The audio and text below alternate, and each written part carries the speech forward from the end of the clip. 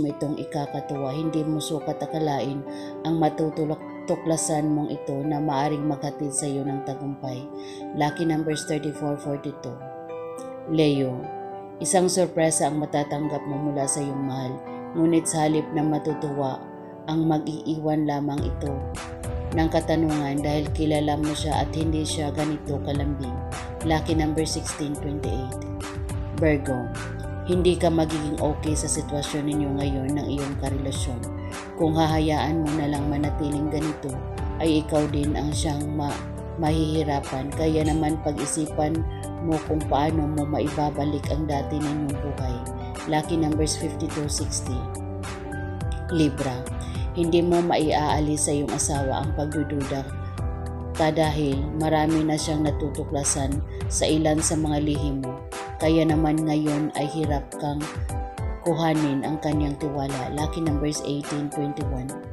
Scorpio, sa kabila ng mga problema kinakaharap ng iyong pamilya, sa araw na ito ay pipiliin ninyo ang magpahinga sa piling ng isa't isa o ubusin ninyo ang inyong oras sa para sa maging masaya. Sa kanalang ninyo hahanapin ng solusyon ang mga suliranin. Lucky numbers 919. Sagittarius, may takot man sa iyong puso ay susubukan mo pa rin magmahal muli. Ayaw mong magmukmuk na lang dahil sa panibagong pag-ibig.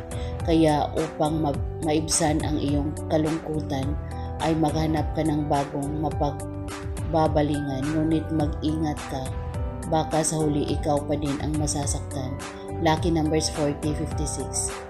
Capricorn, labis na malilito ang iyong puso at isipan kung sino sa dalawang tao na parehong may pagtingin sa iyo ang pipiliin mo. Alam mong hindi maaring dalawa sila kaya mabigat man sa kalooban kailangan mo nang magpasya. Lucky number 6272. Aquarius, ang patuloy mong pagmamatigas sa iyong mahal ay magdudulot ng hindi maganda sa iyong pagsasama. Sa halip na maayos ninyo ang hindi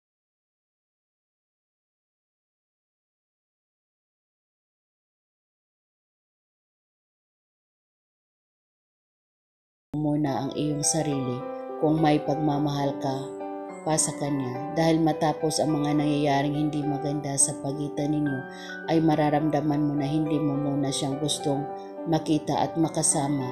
Kailangan mo munang panahon na mag-isip.